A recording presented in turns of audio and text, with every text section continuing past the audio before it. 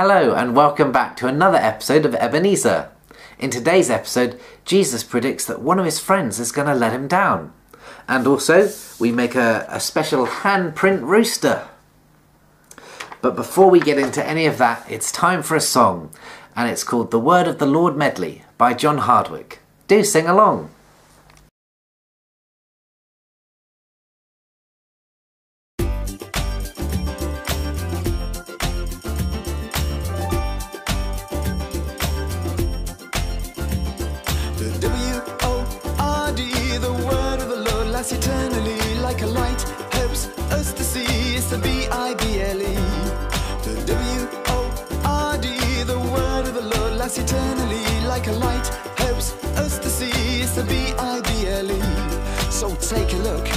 Take a look at the world's best-selling book. Take a look, take a look at the world's best-selling book.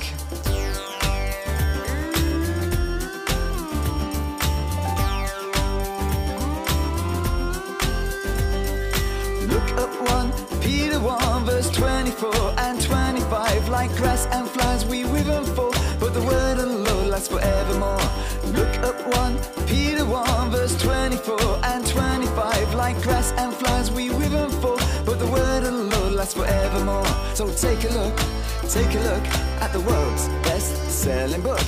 Take a look, take a look at the world's best-selling book.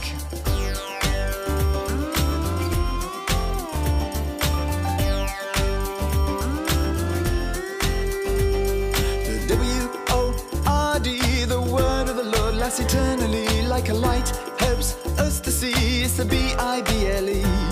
The W-O-R-D, the word of the Lord lasts eternally like a light, helps us to see. It's the B-I-B-L-E. So take a look, take a look at the world's best-selling book. Take a look, take a look at the world's best-selling book.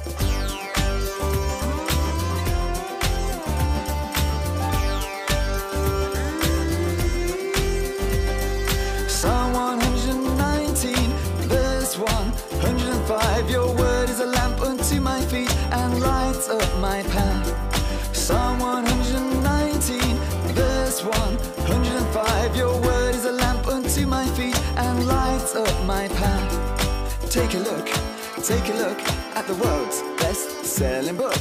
Take a look, take a look at the world's best selling book.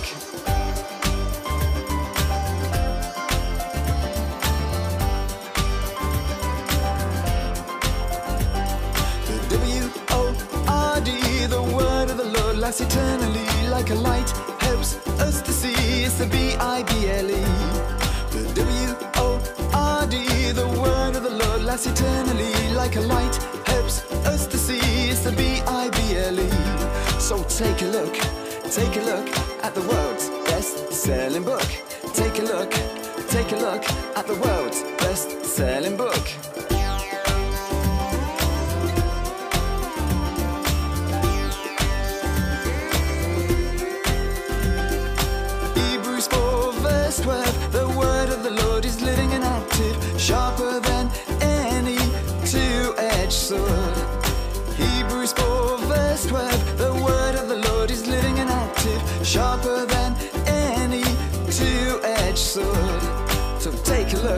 Take a look at the world's best-selling book. Take a look, take a look at the world's best-selling book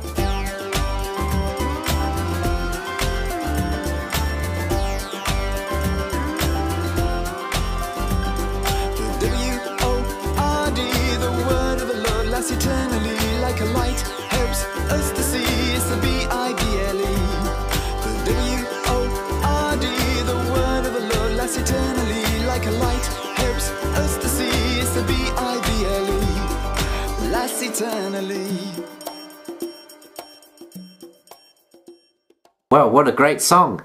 Now it's time for our Bible story where Jesus predicts that one of his friends is going to betray him. While still at the Last Supper, a dispute also arose among the disciples as to which of them was considered to be greatest.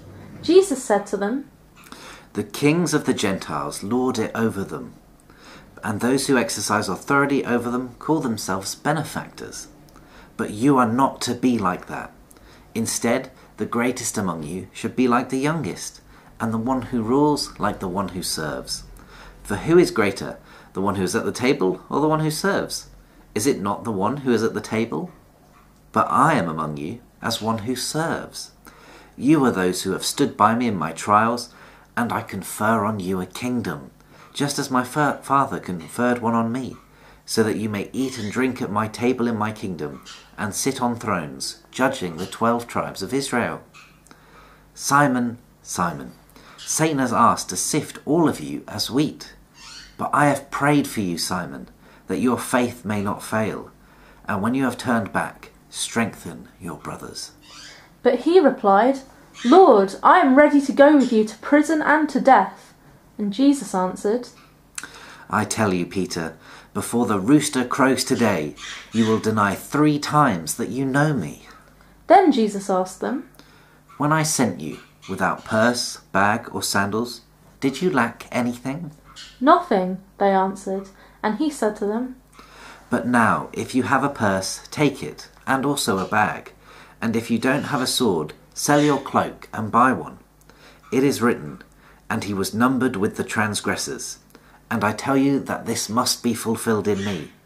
Yes, what is written about me is reaching its fulfillment. The disciples said, See, Lord, here are two swords. That's enough. He replied, Well, what a great Bible story. Now we're going to see if we can figure out what it means for us. And to do that, we're going to need the help of our feathered friend, Zelda.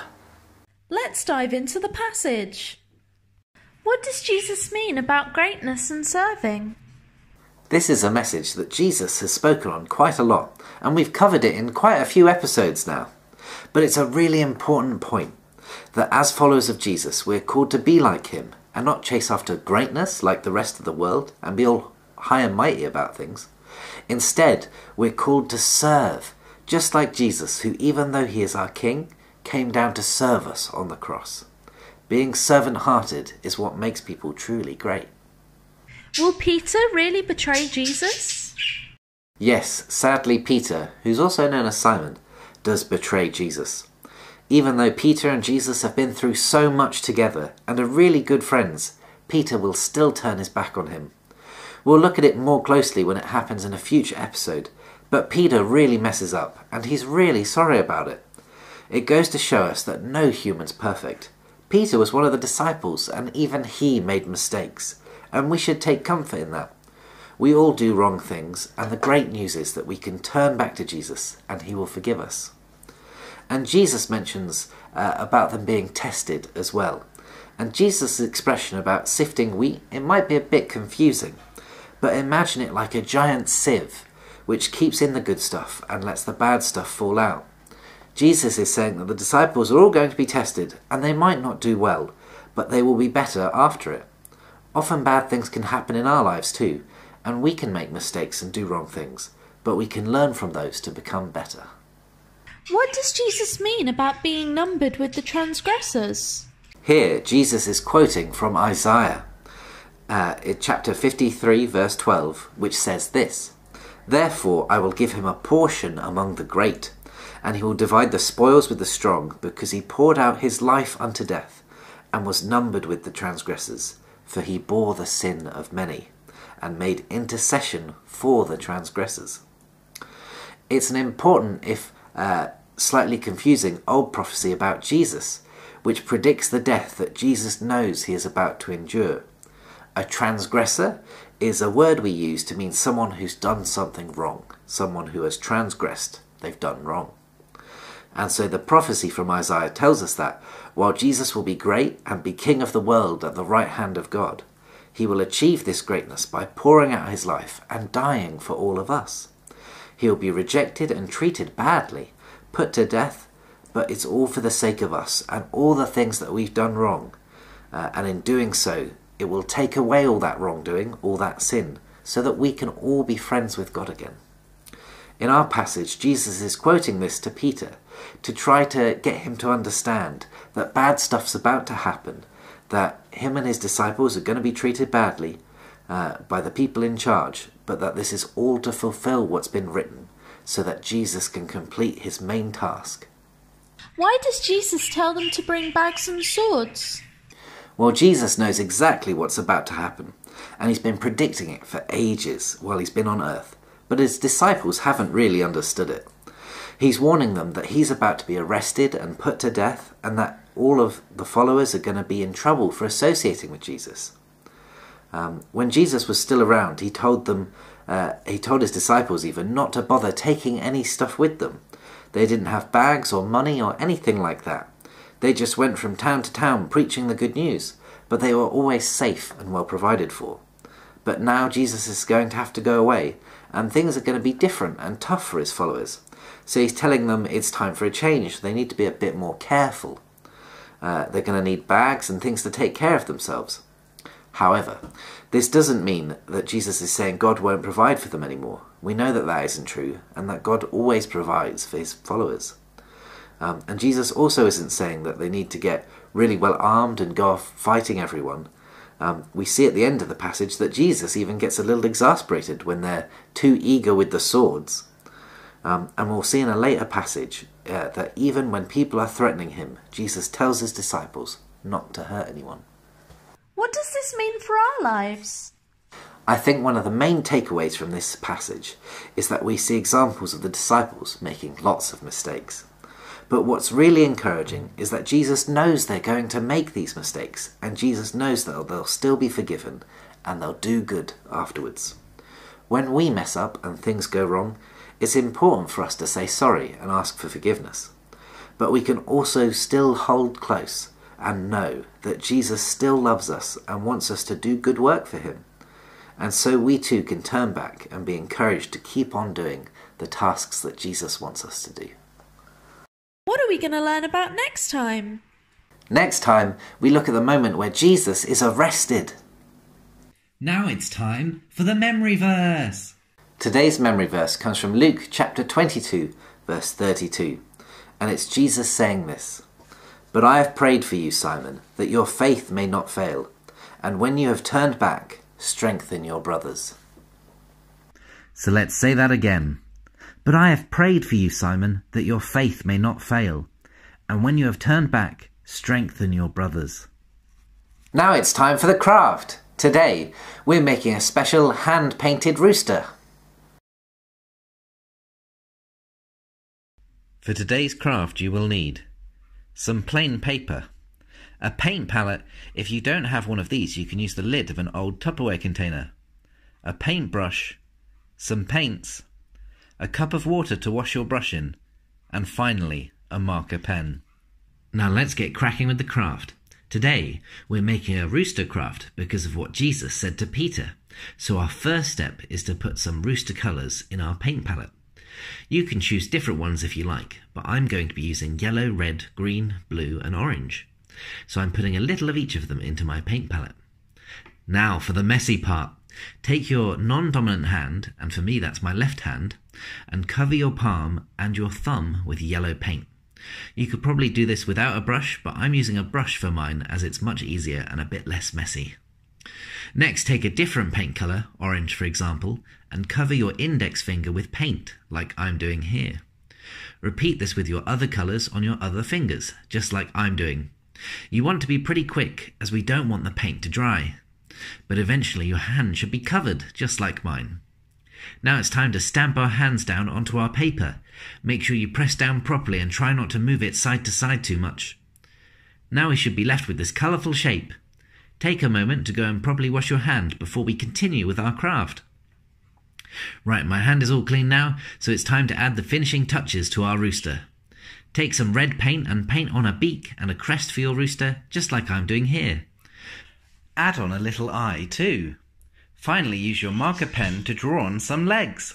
And now our rooster is all finished. Doesn't he look great? What a great craft! Do send through any photos of your crafts or any questions to the email in the description below. But for now, it's time for a song, and it's called We Will Follow by Michael Tinker. Do sing along.